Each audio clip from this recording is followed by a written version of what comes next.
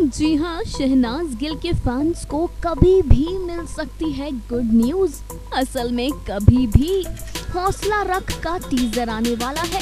जरा ये सुनिए। हौसला रखना ट्रेलर कब आ रहा है जी। बहुत नहीं बहुत शेदी था कि मतलब है मेरे पीछे सारे पे हैं कि हौसला रखना ट्रेलर नहीं आ रहा। बस बोल दे किसी भी टाइम आ जी किसी भी टाइम आ किसी भी टाइम आ सकता है ठीक है जी। वेट कर रहे जी। तो भाई शहनाजियंस तैयारी रखिए।